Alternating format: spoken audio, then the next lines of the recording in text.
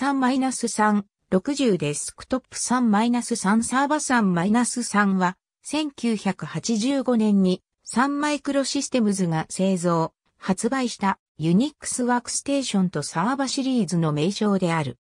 Sun-3は、旧モデルの Sun-2と同じく VMEバスベースのシステムであったが、モトローラ MC68020 マイクロプロセッサ、MC68881、不動小数点、コプロセッサと3マイクロシステムズ独自のムを組み合わせていた。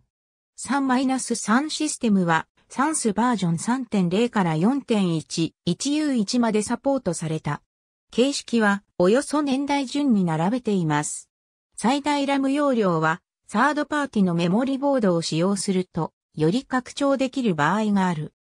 スパークステーション1の出荷と同じ1989年に、サンマイクロシステムズは3つの新しい3-3のモデル3、80、3、470、3、480を出荷した。